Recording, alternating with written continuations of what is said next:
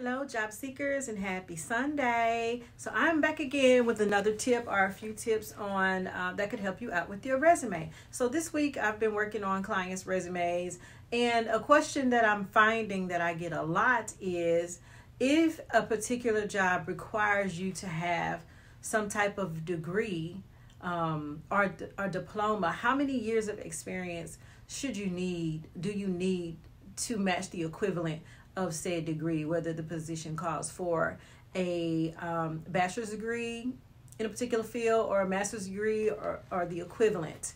Okay, so the equivalent, it could vary from uh, business to business. Each one has their own um, set guidelines for that, but there is a general rule that most companies follow. And I'm looking at an article that's from the Balance Careers, and they were saying that, for example, um, if the job requirement only needed a high school diploma, and hopefully at this point we all have our high school diplomas or uh, a GED. But if you don't, you'll need four years of work experience to overcome that hurdle.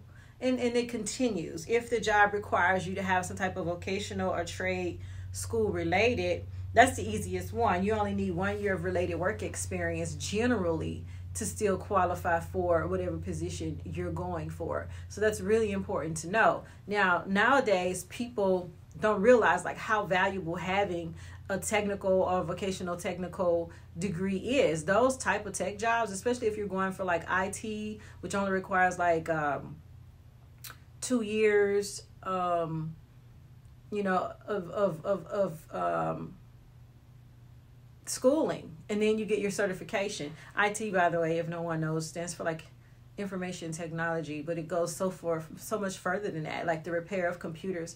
Every company in the world literally needs people who know how to fix computers. We need IT people. We need people who know how to fix the hardware. And that's something you don't even have to go to school four years for.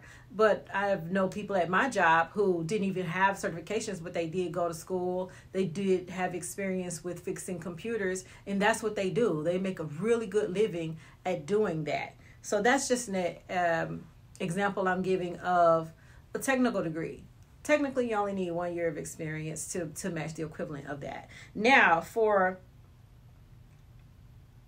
um associate degree it's pretty much the same thing. You need either four years of experience depending on the on the business that you're going for the position you're going for or two years of related work experience to match the equivalent of that particular degree.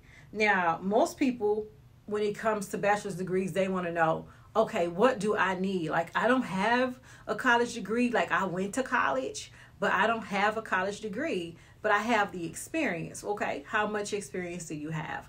To match the equivalent of a bachelor's degree, you're going to need four additional years of work experience.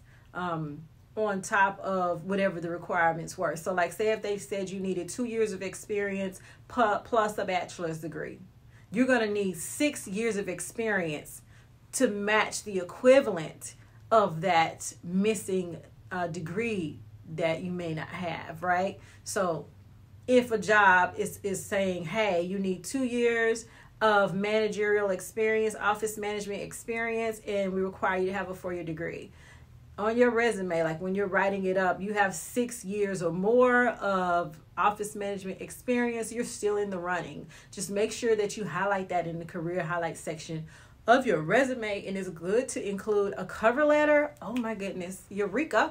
I'll do uh, another video later on cover letters, but that's really important to have a cover letter to introduce yourself. It tells you, it tells the, the recruiter or the hiring manager things that you could not put on your resume that you can explain a little further and why you will be the best fit for the job.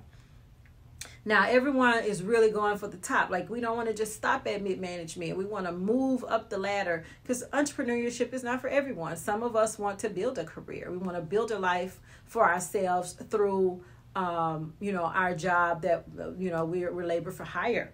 So, for a master's degree, if the position requires you to have a master's degree, so many years of experience plus a master's degree, um, you need a high school diploma plus 12 years of experience to match the equivalent of a master's degree. So that's why our parents always tell us, hey, go get your education. It's really important for you to get your education because that those degrees will take you further in life. And believe it or not, sometimes college works for people. So I'm not saying that I'm 100% an uh, advocate for college because sometimes it doesn't work for everyone. I know people again who've gone to vocational technical schools, have who've gone to junior college, they've gotten their two year degree, and they are making upwards um, 80, 90 to 100,000 or more because of the field that they chose. Those technical jobs are so extremely important.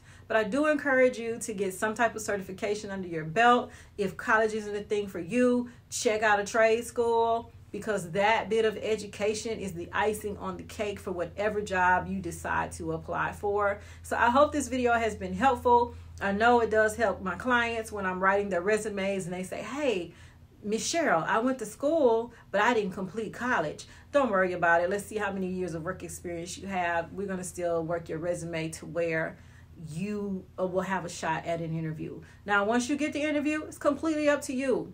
It's completely up to you how you're going to sell your skills because at that point it's on you. But I hope this video has been helpful. Have a beautiful Sunday and a blessed week, everyone. Until next week, bye bye.